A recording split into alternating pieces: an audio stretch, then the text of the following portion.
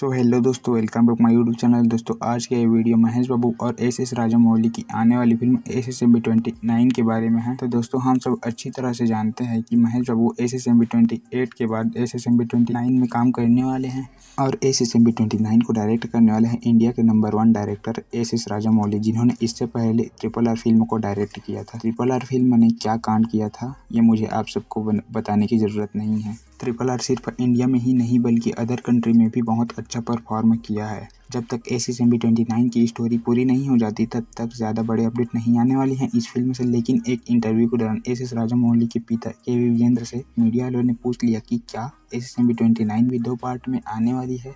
तो उन्होंने बहुत अच्छे तरीके से जवाब देते हुए कहा कि फ़िल्म बेशक दो पार्ट में आएँगे, लेकिन एक्टर दूसरे होंगे।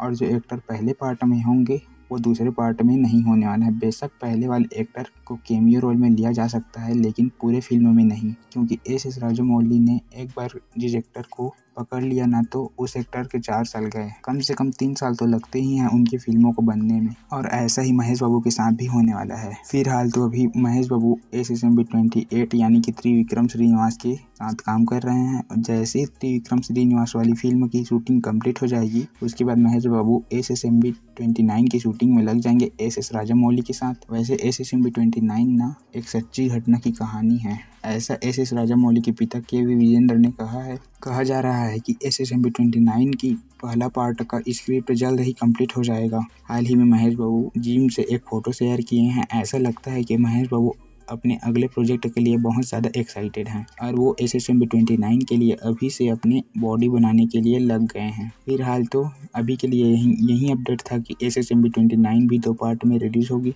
अब आगे चलकर इस फ़िल्म में से कुछ भी अपडेट आती है तो मैं आप सबको इसी चैनल में बता दूँगा। आप लोग चैनल को सब्सक्राइब करके रखिए। चलिए तो फिर मिलते हैं किसी और वीडियो में, तब तक के लिए bye bye and take care